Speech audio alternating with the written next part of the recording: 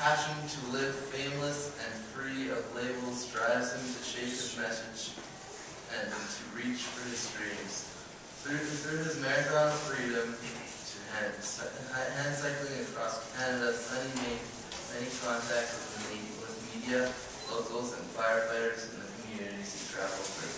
Sonny made an impact in every community he visited.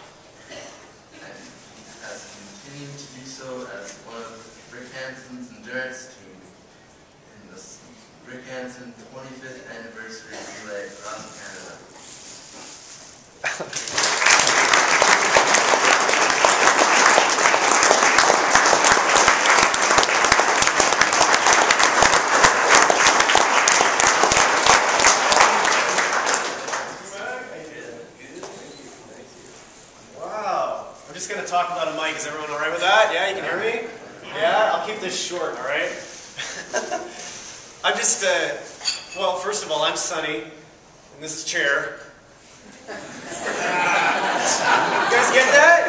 Yeah, of course you get that. Yeah. I, I tell that joke to young people, and they're like, huh?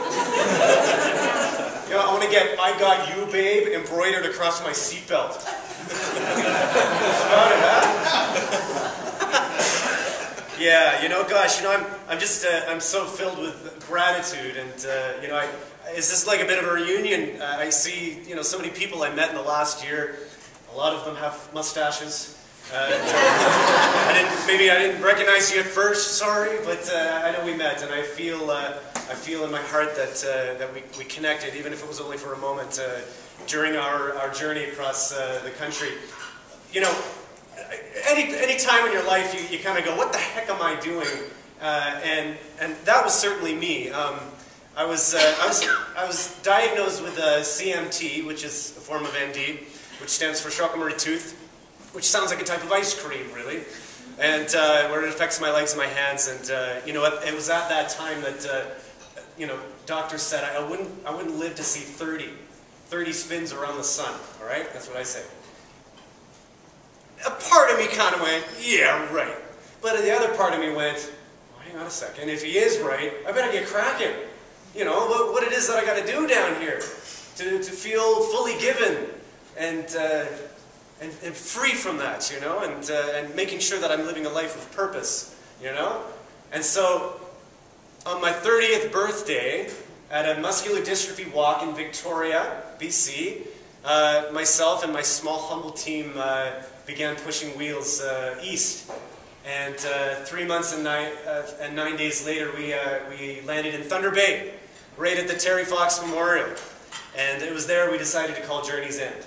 But the fundraising and the awareness kept going through the year. We had the firefighters and um, the Fire Within helped us produce a calendar that, uh, that we sold throughout the year. And uh, gosh, you know, it's kind of difficult selling a 2011 calendar in mid-year, you know, like, it's a good challenge, you know? but, uh, but we, we did it, and, uh, and, I'm just so grateful for, uh, uh, of course, you know, the firefighters. You guys played an instrumental role in escorting us in and out of major cities, you know, stopping traffic. What a feeling, having traffic stopped for you, you know, thanks.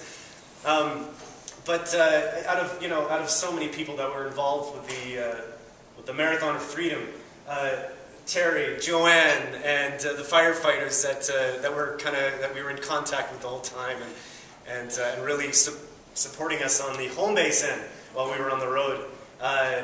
I, would like to take this moment to acknowledge somebody that's here with me today that came on the road with me last minute and basically you know, kind of gave up life for a little while and dropped everything, uh, family and, uh, and work, and, and just to sort of dedicate uh, some time to, to the cause, you know, and, and raising some, uh, I just call it love, all right? Love in general, because what our purpose was to, was to bring love, awareness, money, and above all, inspiration. And so uh, it, it, I'd like to take a moment, if everyone can just help me uh, in giving a round of applause to Twyla Martin, who's behind the camera right here. Stand up, Twyla.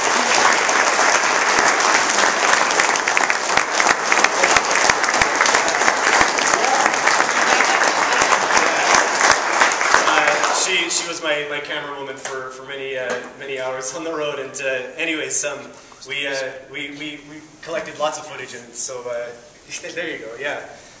And uh, okay, uh, you know, we can share this together. it says back here, uh, you know, uh, teamwork, together we achieve the extraordinary, and it was an extraordinary time.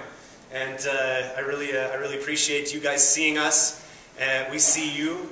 And uh, you know, I, I always like to say there, there is, there is a cure. It's, it's here already, and if, if we just sort of rise to that and imagine it's already happened, it's, we can just sort of play magic with it and go, all right, we found it already, and, and then, and of course, be that change, be the cure, and not wait for science.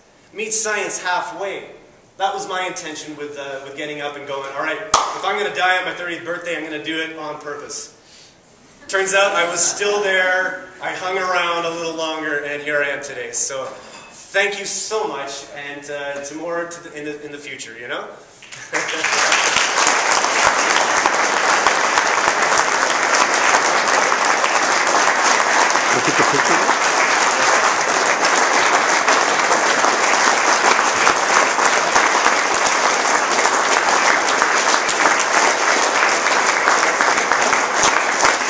I don't know how to do